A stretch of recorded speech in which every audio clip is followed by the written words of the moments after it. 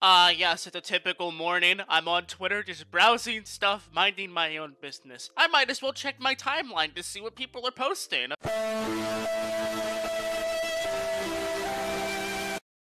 If you couldn't already tell, I got blocked by Koneko Kid.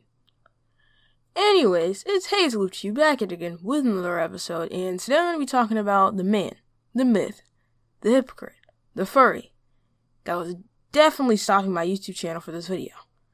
Okay, so I've been trying this whole write a script thing and I'm kinda liking it. Anyways, before you say I'm whining about getting blocked, I'm not.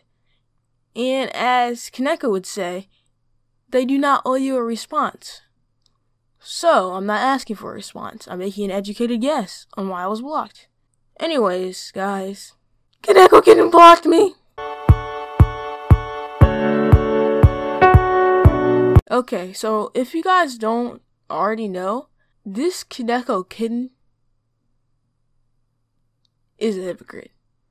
But you're probably wondering, how do I know this? Well, if you didn't already know, he's kind of like a Twitter social justice warrior. When it comes to stuff like drama, he's the kind of person to say, drama hurts both people, just sell it in DMs. He DM'd me about my videos and told me to please not make videos on him. As you can see in our DMs, he says, please stop taking drama that happens to me on Twitter and make it into videos. I do not need people promoting this kind of negativity on YouTube, and there's a good reason why I stay from putting it that putting that stuff on YouTube. It's not content. I really do not appreciate it. But was it really necessary to go beyond saying to stop taking drama that happens to me on Twitter and making it into videos? I mean, you didn't have to insult my videos, bro.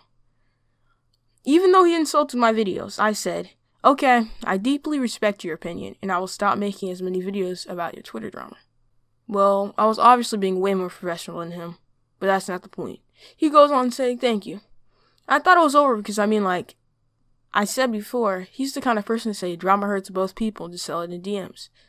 I don't know if he just stubbed his toe or something because two hours later, he publicly calls my videos clickbait.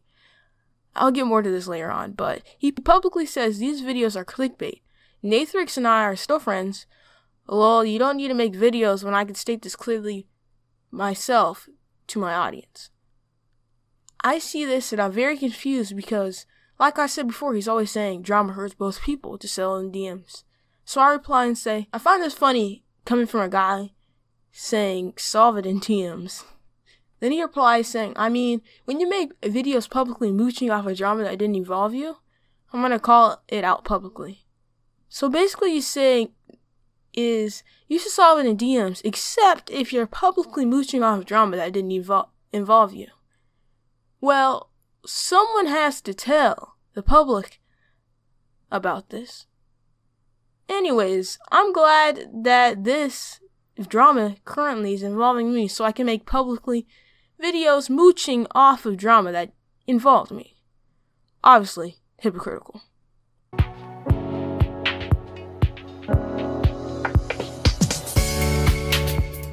Well, you might be asking, how do I know he's a social justice warrior? Well, I could have brung up some information about the Nathrix photo controversy and taken an educated guess. But why would I do that when he just tells us? He says, quote unquote, I am definitely a social justice warrior. Maybe he's just being sarcastic, but who cares? He said it. He's one of those people that will get inf- offended over small things. Anyways, let's move on. Now your homies are your yes man, egos over the max. Well, here we go, talking about people's egos. I guess you could say this is about to be the largest subject in the case of Koneko. Well, he says 61 people think I'm a social justice warrior. Wow. Thank you for up thank you uploader for allowing people to have this false impression over me. Wowie. 66 people? In the case of Koneko, there are 66 people really that important to you? Oh wait, make that 62 because I just like to comment. I mean, he has over 100,000 subs. If I had that many supporters, I would not care if a person with 100 times less subs uploaded a somewhat irrelevant video about me. Or if or by 61, I mean 62. He's so insecure. Well, I just explained the news. If you couldn't already realize it, Nathrike says that he will do little to no drama videos now, and Koneko Kitten definitely wouldn't unless he changes his mind like before. Anyways, if no one's covering Twitter drama, people who only have YouTube won't be able to see an unbiased standpoint. So, if I upload it, will be on the platform that they use. Also, let's really quickly talk about my videos. They may have been a little clickbait, but it's YouTube. You gotta get your channel known somehow. Anyways, thank you guys so much for watching this video. Make sure you guys like and subscribe, follow me on Twitter, join my Discord and my Roblox group, buy my merch. And I hope you guys enjoyed, and goodbye.